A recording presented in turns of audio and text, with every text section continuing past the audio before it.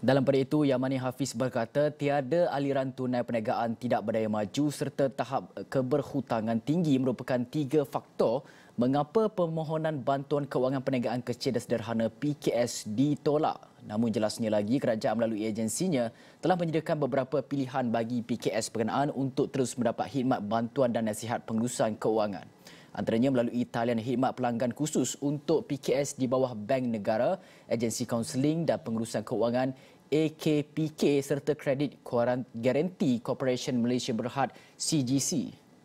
Semasa membuat penilaian ke atas permohonan uh, pembiayaan oleh PKS, mungkin ada terdapat tiga sebab utama uh, kenapa permohonan mereka ditolak uh, iaitu aliran tunai yang tidak mencukupi seperti apa yang dikatakan oleh yang uh, yang berhormat tadi. Ya. uh, perniagaan mereka tidak berdaya maju not viable dengan izin. Uh, dan tahap keberhutangan yang tinggi.